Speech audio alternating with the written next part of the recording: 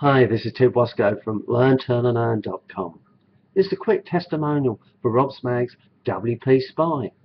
What is WP Spy? It's a WordPress plugin. What can it do? It can spy on your competitors. Once you've downloaded it, you just put in a domain name and press on the different tabs. This will give you all different information.